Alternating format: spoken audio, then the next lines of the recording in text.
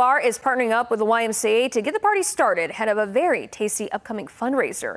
This is where we find Fox 40's Tony Salazar at the Cabin Bar in Sacramento to see what they have planned for National S'mores Day.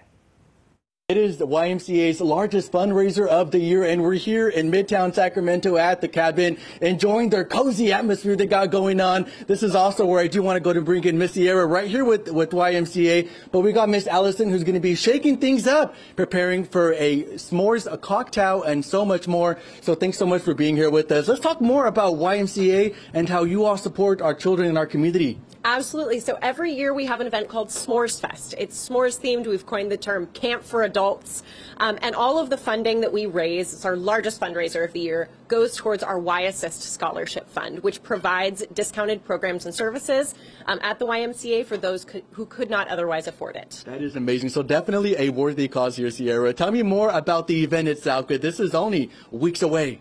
Yes, absolutely. It's September 28th at the YMCA on our field. And every year we have about five what we call s'more makers. The cabin is one of them.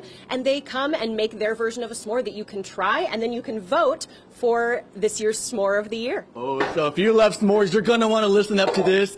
What is the goal for this year? Is there a goal for this year? Because this is, event has taking place in our community for many years now. Yes, I believe it's the um, 11th or 12th year that S'mores Fest has been going on, so a while. Last year we raised $100,000, so our goal this year is to beat that. Awesome, awesome. And Miss Allison, I want to bring you into our conversation. You are shaking things up. What are you making here? I am making our signature s'mores cocktail. It contains uh, Smirnoff whipped vodka, creme de cacao, and a little bit of half and half. And again, this cocktail has s'mores, has all the delicious fluffy marshmallows and so many other treats that are going to be available this weekend. And what are we about to do, Miss Sierra, right now? We're going to try it. Oh, we are going to try it. We have Miss Allison pouring it into a nice, beautiful glass. You got the marshmallow, and it's, don't worry, she's not even done. What are you about to do right now?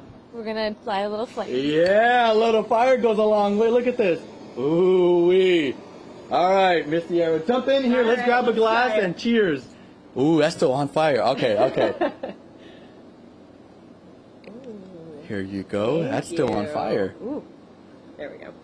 All right, and with that being said, this can be you. Of course, you got to be 21 or older to enjoy a nice alcoholic beverage here. But with that being said, cheers to a successful event. Oh my gosh. Oh my gosh. Good. If you love sweet, if you love marshmallows, I got it all over my lips. This can be you at the event.